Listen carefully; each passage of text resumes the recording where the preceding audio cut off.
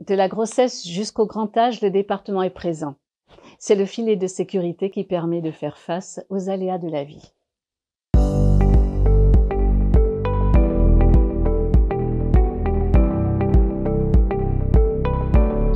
Vous avez plus de 60 ans, votre logement est trop grand, il n'est pas adapté à l'avancée en âge, vous ne souhaitez plus y vivre, le département intervient en amont des entrées en EHPAD pour renforcer l'autonomie des personnes.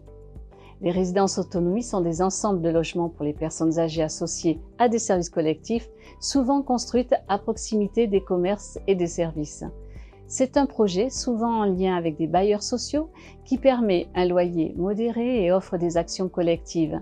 C'est une réponse d'habitat alternatif adapté aux problématiques de l'âge. Un EHPAD, c'est un établissement d'hébergement pour personnes âgées dépendantes. Vous avez plus de 60 ans? Vous ne souhaitez plus vivre seul chez vous en raison d'une perte d'autonomie ou d'un sentiment d'isolement. La mission du département est de veiller au bien-être des personnes âgées pour bien vieillir en établissement. Les EHPAD offrent un cadre rassurant, sécurisé, souvent médicalisé et parfois spécialisé pour un meilleur accueil.